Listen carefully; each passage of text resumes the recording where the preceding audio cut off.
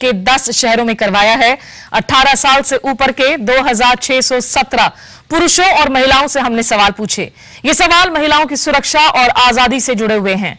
आज हम इस कड़ी में खुद के अंदर झांकने की कोशिश करेंगे, खुद को टटोलेंगे कि आखिर महिलाओं को लेकर खुद मीडिया और पत्रकारों की क्या सोच है? महिलाओं के सिलसिले में समाज को संवेदनशील बनाने में हमारी क्या कुछ भूमिका है? और महिलाओं से जुड़े मुद्दों को उठाने में, उनकी मुश्किलें उजागर करने में, उनकी परेशानियों को दूर करने में आखिर मीडिया क्या भूमिका निभा रहा है। इसी सिलसिले में खास बातचीत करने के लिए स्टूडियो में मेरे साथ मौजूद है वरिष्ठ पत्रकार नमिता भंडारे। जस्टिस वर्मा कमेटी को इनफैक्ट जिन लोगों ने सुझाव दिए हैं, उनमें नमिता भी शामिल हैं। और द हिंदू की ही वरिष्ठ पत्रकार शालिनी सिंह भी इस वक्त मेरे साथ स्टूडियो में ही मौजूद हैं। अहमदाबाद स्टूडियो में है रुजान खंबाटा आईटी प्रोफेशनल है और रचना की निर्देशक भी। साथ ही दिल्ली में युवाओं की सोच हम तक पहुंचाएँगे। हमारे सहयोगी साक्षी खन्ना तो आप लोगों के पास जाने के पहले क्यों ना एक नज़र डाल लेते हैं इस सर्वेक्षण के शुरुआती नतीजों पर। हमारे जो सर्वे है, उसमें हमने लोगों से पूछा कि महिलाओं के खिलाफ अपराध में क्यों नहीं मिल पाता है इंसाफ। इसमें 20 फ़ीसदी लोग नाकाम पुलिस और भ्रष्टाचार को जिम्मेदार मानते हैं। सात फ़ीसदी लोगों का कहना है कि भ्रष्ट वकीलों की वजह से इंसाफ नहीं मिलता। कमज़ोर कानून को गुनेगार 17 फ़ीसदी रेस्पोंडेंट्स करार देते हैं और कानून की धीमी प्रक्रिया को 16 फ़ीसदी, जबकि ये सभी कारण गुनेगार हैं, ऐसा 40 फ़ीसदी लोगों का कहना है। हमें यह भी पूछा कि थाने में पुलिस के रवैये के बाद क्या आपने पुलिस के पास जाना बंद कर दिया? 39 परसेंट, उनतालीस फ़ीसदी का कहना है कि हाँ, जबकि बयालीस फ़ीसदी ऐसा नहीं मानते। और क्या ज़्यादा महिला पुलिसकर्मियों से फ़र्क पड़ेगा? मेजोरिटी, जो 70 परसेंट रेस्पॉन्डेंट्स है, उनका कहना है कि हाँ, इससे फ़र्क पड़ता है। नमिता, जस्टिस वर्मा कमेटी की अगर हम बात करें, कमीशन की बात करें, उन्होंने इनफैक्ट अपनी रिपोर्ट को रिलीज़ करते वक्त रिपोर्ट में भी इस बात का ज़िक्र है कि काफ़ी हद तक महिलाओं की जो परसेप्शन बनाई जाती है समाज में, वो गलत अगर परसेप्शन बनता है, उसके लिए बहुत सारे इंस्टीट्यूशंस हैं जो जिम्मेदार हैं। मीडिया भी उसमें से एक है बिल्कुल बिल्कुल मीडिया आ, अगर आप टेलीविज़न अगर आप सिनेमा अगर आप सीरियल्स अगर आप सब कुछ देखें तो डेफिनेटली मीडिया को आप नहीं आ, इसमें से एक्सक्लूड कर सकते हैं हम्म। और खास करके मीडिया में अगर मैं बात करूँ जर्नलिस्ट्स की अगर हम आज इंट्रोस्पेक्शन की बात कर रहे हैं टीवी की हो प्रिंट की हो उसमें आप कैसा रोल देखती हैं नमिता जर्नलिज्म में देखिए कोई एक साइज़ फिट्स ऑल वाला वाला मामला तो है नहीं हम्म। और मैं तो कहूँगी कि दिसंबर 16 के हादसे के बाद जैसे जर्नलिस्ट और मीडिया ऑर्गेनाइजेशंस ने जो काम किया है हम्म। वो मुझे बहुत ही गर्व से मैं, मैं बहुत बहुत खुश हूँ उस काम से। उन्होंने बहुत बढ़िया काम किया है, चाहे वो एजेंडा फॉर चेंज हो, चाहे वो प्रिंट में देखे कितने कैंपेन्स अभी तक आज दिन तक चले आ रहे हैं ये नहीं कि उन्होंने वो स्टोरी कवर की सेंसेशनल स्टोरी थी और दो दो दिन बाद उनका अटेंशन पलट गया हम्म। चाहे वो नरेंद्र मोदी का इलेक्शन रिज़ल्ट बीच में आया हो चाहे इतने बड़े बड़े न्यूज़ वैल्यू के जो स्टोरीज थे उन्होंने किसी मतलब वो बिल्कुल डिस्ट्रैक्ट नहीं हुए हम्म। और वो स्टोरी पे लगे रहे हम्म। और इसमें मीडिया का बहुत ही अच्छा रोल रहा है शालिनी इसी सिलसिले में इनफैक्ट मैं सोशल मीडिया पर मुझे लोगों से ब्रिकपैक्स भी मिल रहे थे कि आप लोग लगातार इस खबर को इतनी ज़्यादा कवरेज क्यों दे रहे हैं? क्योंकि ये दिल्ली में हुआ है। देश के दूसरे शहरों में जब इस तरह की घटनाएँ होती हैं तो मीडिया उनको या तो कवर नहीं करता, या तो सस्टेन कवरेज जारी नहीं रखता है। किस तरीके से जो है विमेन इश्यू पर आपको लगता है कि मीडिया के अप्रोच को भी देखना चाहिए? Women's issue is a very complex matter और ये एक सोशल इशू है। हमारा एक बहुत कॉम्प्लेक्स मल्टी लेयर्ड सोसाइटी है। तो uh, हमें we have to start at multiple levels My main issue is that uh, media may have handled this particular episode very sensitively. लेकिन आप अगर देखिए मैंने फाइनेंशियल जर्नलिज्म में बहुत काम किया है आप बजट की स्टोरीज देखिए mm -hmm.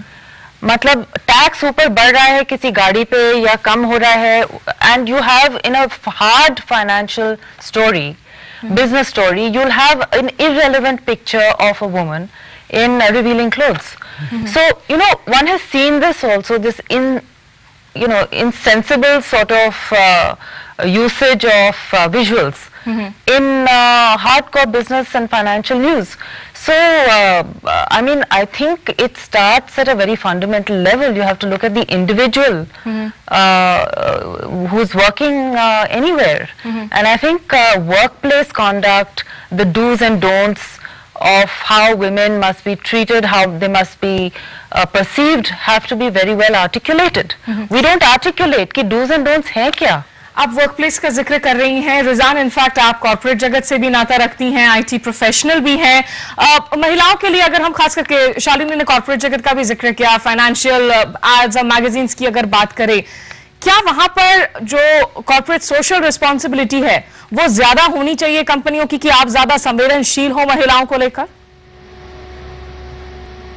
सी मेरा सबसे पहला ये टेक है, सबसे पहला आई मीन इफ़ यू जो आपका पहला क्वेश्चन मीडिया के लिए था आई वुड रादर से कि मीडिया एज ऑलरेडी सर के बहुत अच्छा काम किया है मीडिया ने, जिसके कारण इतना फ्लैरअप हुआ है।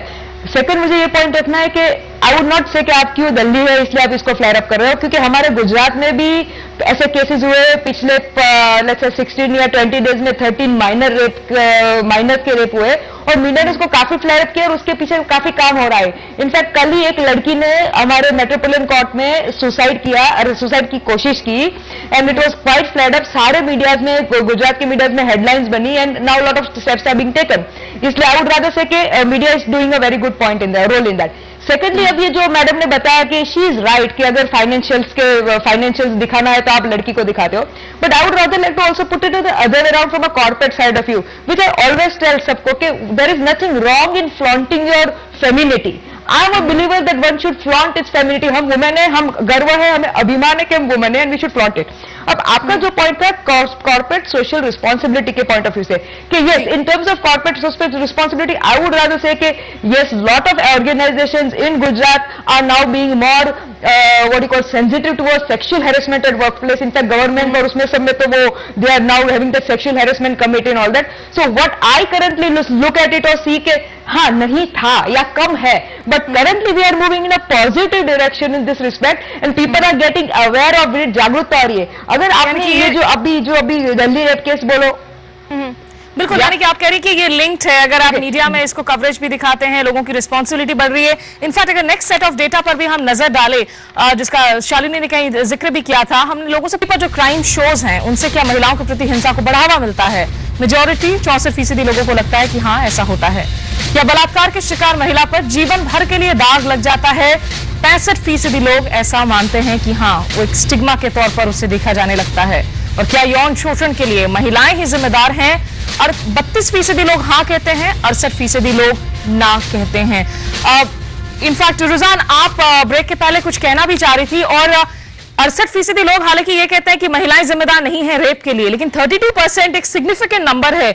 अगर ये 32 परसेंट में महिलाएँ ज़्यादा हैं हमारे रेस्पोंडेंट्स में, इनफैक्ट वो अगर कहते हैं कि महिलाएँ ही ज़्यादा जिम्मेदार हैं, इसे आप कैसे देखेंगी?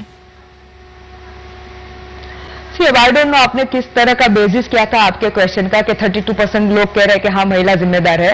Because I mean this is also surprising figure to me so I cannot answer on that particular question right now कि how come they can say कि महिला जिम्मेदार है। दूसरा या या आई डोंट नो क्योंकि कई बार मैंने ये सुना छवि है पर बात कर रहे हैं। अपने नेत उन, उनको लगता है कि महिलाएँ शायद तरह से ड्रेस करते हैं जो पोशाक पहनते हैं उसका असर पड़ता है इसीलिए वो जिम्मेदार होती हैं। नहीं एक्चुअली ये ये ये जो आपके जो 32 परसेंट होंगे, उन लोगों में से होंगे एम गारंटेड बोलती हूँ, क्योंकि ये जो अपने नेता लोग बोलते हैं कि भाई भाई ये people girls provoke man to come and rape them क्योंकि उनके because of the clothes all that जो आप बताते हो कि वेस्टर्न सोसाइटी मुझे ऐसा खास कहना है कि यस हम तो वेस्टर्नाइज है, हम जो कपड़े पहनते हैं, ऐसे मीन्स आई मीन जो भी नॉर्मल लड़कियाँ कपड़े पहनती है तो ही वो लड़की लगती है, वरना शर्ट पैंट पहनते तो उसको टॉम बॉय बोला जाता है। सो कमिंग बैक टू जो लड़कियाँ कपड़े पहनती है नथिंग रॉन्ग बट जो आप वेस्टर्नाइज सोसाइटी की बात करें तो मुझे एक चीज़ आपको उसमें खास बतानी है कि आजकल जो वो पोर्नोग्राफी जो हर एक के मोबाइल पे चालू हो गई है वो भी एक वेस्टर्न सोसाइटी की इनपुट है।